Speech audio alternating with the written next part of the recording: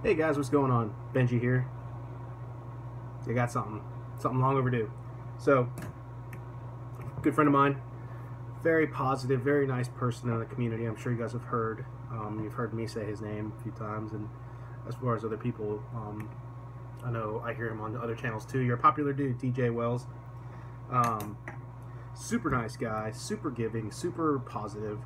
Um, he made a I've, I've have videos of this all the time. You guys have seen it a bunch of times. My corn horn inspired MHS uh, hilt that he made for me, and I customized and went to town and had the greatest install ever. It's the only install I've had in the last like year that was just like super fun, no problems. but um, he made one himself, and I was like, oh my gosh, I need it. It's beautiful. Can I have one, please? And he was like, I'm not making them uh, to sell or anything like that. And then I was like, no, that's understandable. I totally see where, you know, same here on some builds. And then uh, not long after, he just messaged me out of the blue and was like, I sent you it. You, you like, enjoy. And I was like, wait, what? So, super cool. Wrote me a hand note and everything. Um, I'm going to have to write you a note now, dude. but, um, yeah, so I've been wanting to return the favor for a, a long time, and um, I never really knew what, because that that um, Corn Horn speeder bike gift was was very thoughtful and very cool. That I didn't want to just like, um, you know, like throw him some money or like, or you know, like, hey man, I made you this cool thing that I don't know if you like or not. so I just I wanted I, I wasn't sure on what what to uh, what to get him that he would enjoy. So I made sorry guys, computer, it's a little dark here.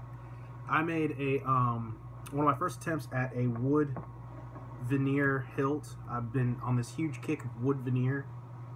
I've been loving wrapping sabers in wood veneer once I figured it out. But before that, I didn't know the right veneer, and I had this other piece that I got from Home Depot that was like uh, it was like a free sample. I talked about it in one of my videos. I was in line with like a little free sample that looked looked like wood, but it was kind of a material fabric, kind of plasticky thing. And I was, and she was like, you know, you don't have to pay for that. You can just leave. And I was like, woohoo! And I ran out. I was like, I got a free leather wood wrap or whatever it was. It, it looked cool. But the thing is, I weathered this hilt and I had that wrap on there, and um, TJ loved it. He was like, "Oh my gosh, it's gorgeous! I would love to have a hilt like that." And then I was like, "Thank you! Like I finally know, finally know what I can do to repay you." So, um, or not repay him, but you know, like a gift exchange. So he, um, he was like super cool about it, obviously, because I always felt bad. I was like, "Man, I got all these hilts that I'm working on." And I don't want him to think that I'm like skipping over him or whatever. The you know I don't know. It's just one of those things where I was like, I really wanted to get him something nice before I kept on building all my stuff. And the thing is, with my, a lot of my hilts, I um I plan out like a like a year in advance. Man, most of the times I'm still building sabers that I bought all the parts for, you know, months ago. But uh, anyway, so what I just wanted to do was get him something that was installed since it took so long. I was like, oh, I'm, you know, I might not be crazy, but I'm just gonna get you something, something cool. And uh, NeoPixel connectors were out of stock. You know, I had commissions. I had a lot of stuff going on, but I finally got this taken care of. This has a Verso in it, which I got from Daniel Spencer. I actually got this hilt from Daniel, Daniel Spencer as well, from Old Scroll Sabers. Y'all check out his um, Instagram. It's on Facebook. Daniel's a cool dude, great guy in the community. One of my scrap bros. I love you a lot, brother. Um, so he in a trade gave me this, and then later on down the road, I was like, all right, I'm gonna I'm gonna do some stuff with it. And then TJ loved it, and then it was just like it kept on going in the right direction. So um, uh, did all the weathering, did this um, brass and copper inlays in like milled sections, which has become a favorite thing from another thing that I'm like I like to do that a lot. So I did that on this one. I kind of gave it the same treatment. So that's what I was telling TJ. I was like, "Yo, dog, we got brothers, brothers, sister sabers, whatever you want to call them. Look at these things. They look so good together, man. And I'm hoping, I'm hoping to have mine installed someday. So cool. Anyways, so the Verso is a very basic board. Um, and thanks again, man, to uh, Mark Bell Mark Bell, if you're watching, I appreciate you, brother. I went onto the Verso page and I was like, hey guys, like I'm having problems switching over sound fonts and stuff like that, and I don't really know what's going on, and he showed me how to do it. Um, so I'm gonna be playing with that later. This, however, has a stock sound font on it. TJ, if you want to learn how to swap fonts, I'll hopefully know by then, so I'll, I'll walk you through it. But I'm gonna go ahead and power this up. I've been talking a lot about this because this is just a special. This this is this is there's story behind this. This is not just a hilt that I'm like, hey, look, guys, I did a, a Saberforge Reliant Gen One. This is there's story behind this. Like this is something that that um is gonna make me very happy to go to somebody who will really love it, and I hope you do, um, TJ. So this is a Saberforge Gen One Reliant. They used to get them. Oh yeah, and I dirtied this sucker up too because it was a scratch and dent, so it had dents and scratches and um, things weren't aligned that well. And I was like, all right, well, let's just get crazy with Greeblies and call her a day. But um, yeah, I, wanted to get one of these hilts a long time ago. Uh, there's a there was an installer, Jordan Mall. I'm sure everyone knows about Jordan Mall. If you don't, you probably heard his name. Um, he got me twice. A lot of people, unfortunately, seemed like a nice guy and probably just got way in over his head and really put a bad, bad time on the community um, for overdue installs, and that's a whole nother video. But he used to take these and make Venzalo hilts, and that's what I wanted to do with it. So when I got it, that was my whole thing. Was I was like, you never see these Gen ones, so this is kind of a rare saber. And um, after a while looking at it, and then I got my Venzalo, I was like, ah, I don't really, I don't really need to Venzalo this. So I was like, I'm an Old Republic it. This is kind of my take on an Old Republic hilt. All right, sorry guys. Very long conversation on the hill, six seven minutes. I mean, it's a Verso. It's only got one sound font. You guys don't really need to see a blade demo craziness, but we will. Got the smooth swing. That's uh, Verso's smooth swing board. It's very, very beginner style board. It's awesome. Easy to solder up. Easy to do. Swings, clashes, clash on clash, and color change.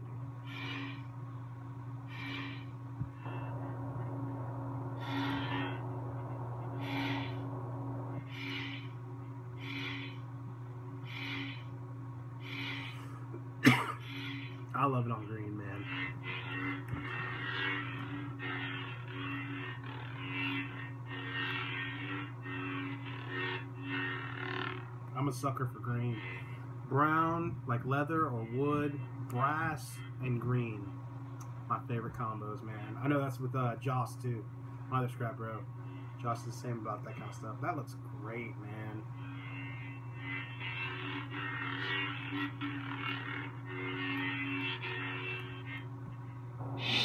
Alright. I went uh, Verso with it. Um, it's only the second Verso I've ever done. But I went with a Verso. Oh, yeah, your blade retention is right, Sean. I went Verso with it because it has a one button. I could have done two little dome tactiles, but I was like, you know what? This is, uh, I had the extra Verso that I got from Daniel, who really supplied it because of this hilt. He was like, I want you to have a board to go with it. Um, because he saw what I did and he was he was like, it looks awesome. He was super supportive. I'm telling you guys, it's good to have good friends in the hobby, man. All right, but um, the Verso hopefully after all the craziness will be updatable and maybe get maybe it'll get like a blaster lockup, you know, one button function type thing. Um, I, I know accent swings would be really good, uh, greatly improve this board. Goes into deep sleep real quick.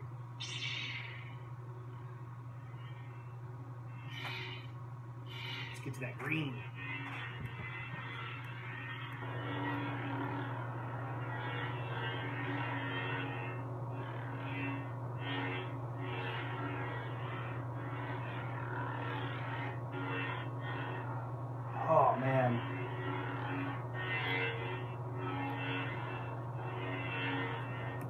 Say one thing about this saber. It's the most comfortable saber I think that's been in my collection. It's so it's slim. It has a great choke point right here. It chokes on your fingers, two hands, and it grips. This this is one of the most comfortable sabers I've I've ever had to swing around.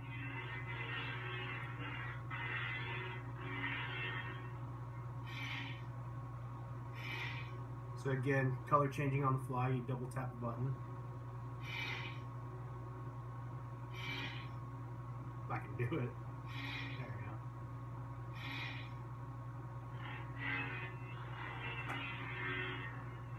It's like a yellow, more like a lime green though. Uh, well,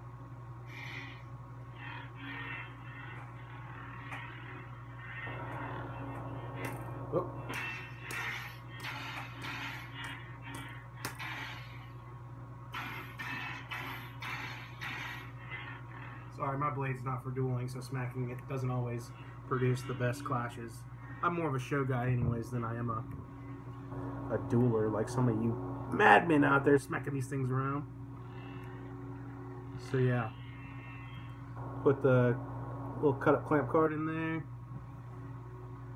She is beautiful. Got a lot of compliments on this one.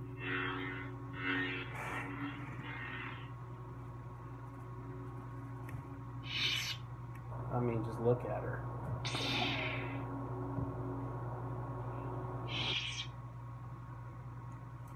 Alright, so. Sad to see her go, but happy she's going to somebody that will like her. I feel like this is long overdue. I feel feel like I was late on Christmas. I'm like, hey man, here's a present for you. But I mean, I love the way that looks, man. I'm always been a sucker for this emitter, the little slit. This saber is just, it was like it's perfect for this setup, for a wood wrap and some things going on. I mean, these were already milled in sections. Same with these little copper. There were two holes, two holes. I bent some copper bars, drilled out some holes to put them in weathering on it, I went kind of crazy, man, and um, and I'm okay with that. I like it weathered. I mean, come on, man, that looks great. Look at that.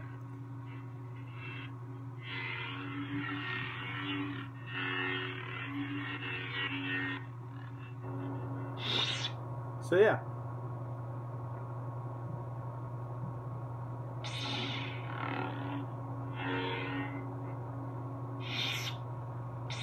Oh, there's also a mute function.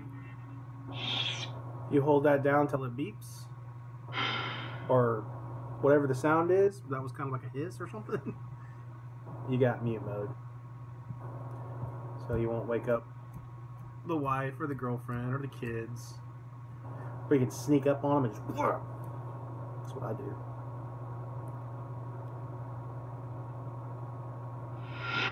Power it down and then hold it again, and you're back.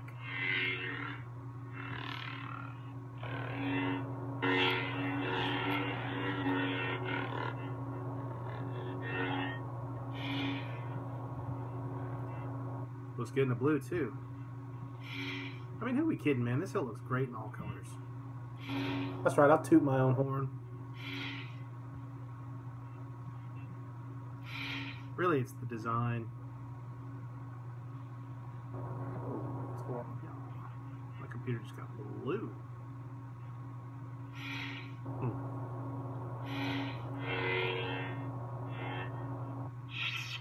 Alright. And this blade plug I made, this is mine. Sorry, sorry, bro. I didn't have, uh, I don't have a connector. It's something I forgot. If you want me to make you a blade plug, hit me up, man. I, I don't mind doing them. Blade plugs are fun. Um, it only costs me, you know, the connector, bottom connector piece, and some stock, and I might have some blade stock somewhere around here. Um, some one inch blade stock. But um, yeah, man. Um, I hope you dig it. I'm gonna hold on to it for the weekend. Make sure everything's smooth. Oh, let me show you how to. I don't even know if I showed you. Did I show you? I might not have showed you in the video. Sorry, guys. Like I said, I did a whole video for this beforehand, and um, and then I ended up deleting it because the battery was low. So like every time I put turn the blade on, it was like crystal or like critical or whatever. So that's it'll tell you the Verso will tell you when the saber is um, low on battery. It will just like straight up like a voice alert will be like crystal core, and then it'll stop. So um, the pommel is pressure fit. So I put you just get like a screwdriver. I got like a little one to get it in there, pry it up, and then I get like another one. Kind of an extra step. Sorry about that. Um, and then I have like just double-sided tape that's wrapped around the inside of this um, pommel because there are no threads. I think this pommel is designed to have a Covertec hold this on, but I don't even think this is the right pommel. But it worked well. So this works really well if you just roll with it. Just like every other sled. Pop it like that. It's removable battery. You slide it out. SD cards right there. Boom. It's not the prettiest, man. I'm sorry. I tried to get it nice, but once I got the board in there, it's so freaking close to the wall. I ended up putting some electrical tape to cover your leads, just in case. Yeah, you pull it all the way out. You can untwist it, and then you can get that um, you can get that battery popped out. What I did was I made a little hole in the chassis for you to, once it's all the way out and laying on the table, little chopstick, and you boop, push that battery, and then um, one side will pop out, and there you go. Replace it, put it back in. Um, whoop. Just get your board. Um, figure out, you'll feel the grooves. Kind of twist it back up. Oh man, come on now. There we go.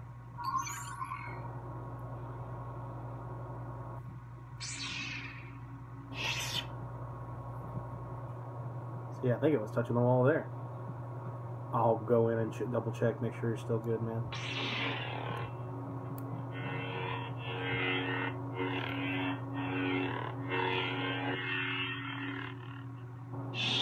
Just super tight in there. This is a one-piece design, so um, I mean, I guess that's why they changed up the design. It's just so so tight in there, and Saberforge never used chassis at this time, so to have a chassis in there, removable battery, speaker, and a board, it was very very tight. This is Kramfu, but um, yeah, man, it'll do the trick. Love the way that looks.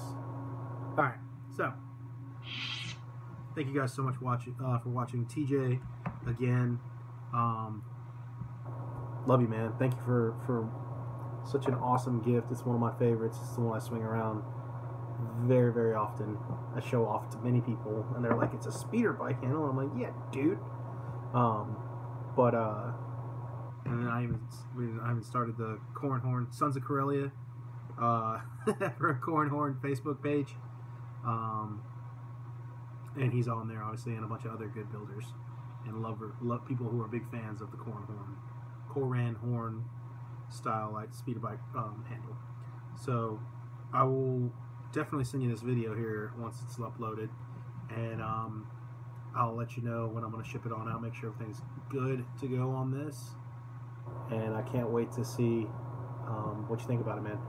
All right, guys. So that'll do it for this video. Um, I might I have a couple more builds. I may take some time though. I've been doing a lot of lightsabers, lots of videos, lots of other stuff, um, lots of Saber Fonts reviews. Uh, I've been nonstop at this desk for three weeks, so I may be taking the weekend off um, and kind of chilling for a bit. But um, yeah, I do have some more builds coming as soon as parts come in. It'll be a lot of fun, and um, we can we can get fancy together. Sorry, guys. I can't. I can't go a video without saying it. If it bothers you, you know what, man. If anything I say or do bothers you, deal with it, homeboy. I don't care. All right. Thanks for watching, guys. I'll talk to you next time.